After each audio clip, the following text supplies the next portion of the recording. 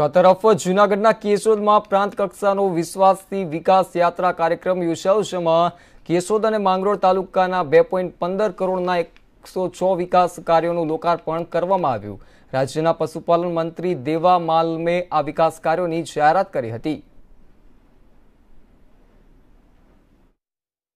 કેશોદ તાલુકા અને માંગરોળ તાલુકાના અલગ અલગ વિકાસલક્ષી કાર્યક્રમોનું આજે ખાતમુહૂર્ત લોકાર્પણ કરવામાં આવેલું છે.